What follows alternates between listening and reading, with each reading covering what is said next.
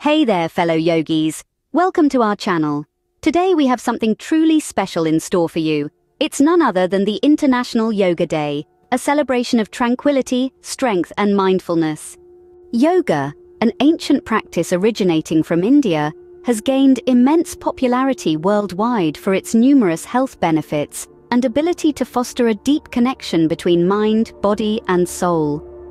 Through regular practice, Yoga enhances flexibility, improves posture, increases muscle strength, and boosts overall physical fitness. But that's not all. It goes far beyond the physical realm. Yoga is a powerful tool to reduce stress, anxiety, and promote mental well-being.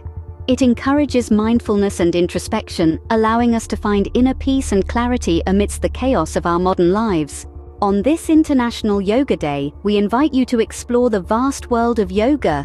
Whether you're a beginner or an experienced practitioner, there's something for everyone. Imagine immersing yourself in a serene retreat surrounded by nature, where you can deepen your practice and connect with like-minded individuals. Yoga offers a transformative experience that rejuvenates the body and mind. And let's not forget the creativity and self-expression that yoga allows. From the graceful flow of vinyasa to the strength-building holds of ashtanga, there's always a new challenge waiting for you on your mat.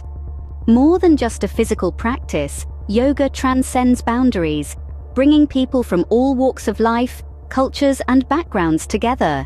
It fosters a sense of unity, compassion and acceptance. Whether it's a simple stretch in your living room or a group practice at a local studio, every step on this yoga journey counts.